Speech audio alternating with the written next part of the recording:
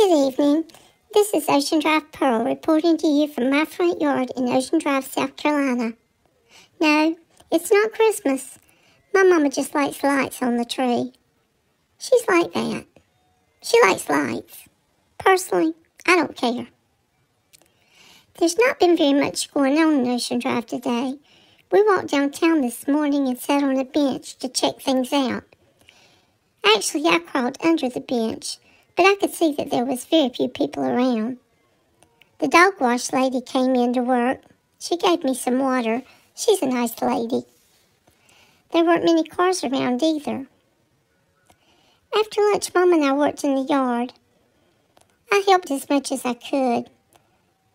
Sometimes I pick weeds for her, and sometimes I pick up things that weren't weeds. But we're not going to talk about that right now. About four, we took another walk. When we came down hillside, I really wanted to go see my friend Paisley.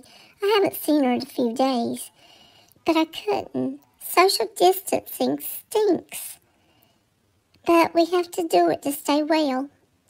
I hope you're all social distancing. Playing with friends isn't worth spreading this virus to friends in our neighborhood. If I see you on the street, I'll keep my distance now. But when this is over, I'm going to lick all my friends. This is Ocean Drive Pearl signing off. Stay well. Love you.